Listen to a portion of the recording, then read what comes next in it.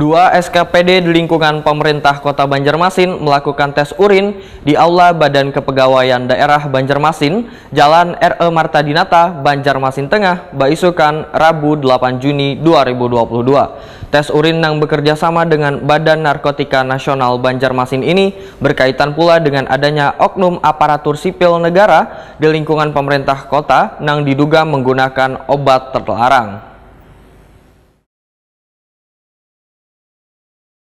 Dua SKPD di lingkungan pemerintah kota Banjarmasin melakukan tes urin di Aula Badan Kepegawaian Daerah Banjarmasin Jan RE Marta Dinata, Banjarmasin Tengah, besokan Rabu 8 Juni 2022.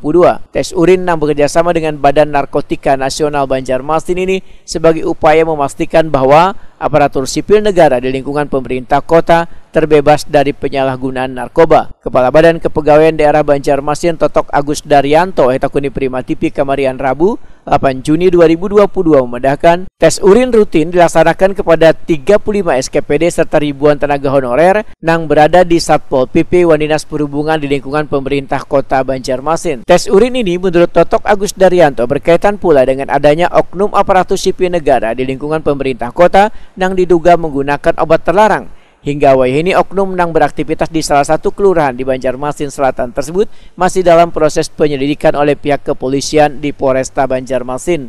Totok Agus Daryanto menambahkan, dalam aturan kepegawaian, jika ada staf aparatus sipil negara yang ditemui menyalahgunakan narkoba, maka akan diberikan arahan terlebih dahulu dari pimpinan yang bersangkutan. Sedangkan bagi pejabat, maka akan ditindak sesuai dengan mekanisme yang berlaku di peraturan kepegawaian. Ini rutin, ya. jadi kerjasama Pemko dalam hal ini BKD dengan BNN ya tujuannya ya untuk mengetahui apakah e, memastikan bahwa ASN Pemko di Banjarmasin tidak tidak ada yang terlibat di narkoba. Gitu. Kalau toh ada kan mesti perlu tindakan kan, hmm. apakah direhabilitasi atau bagaimana bagaimana. Nah, gitu. Jadi ini sebenarnya rencananya akan dilaksanakan sampai bulan Oktober panjang nih Hmm. itu mah totalnya adalah 2000 sasarannya 2000 pegawai.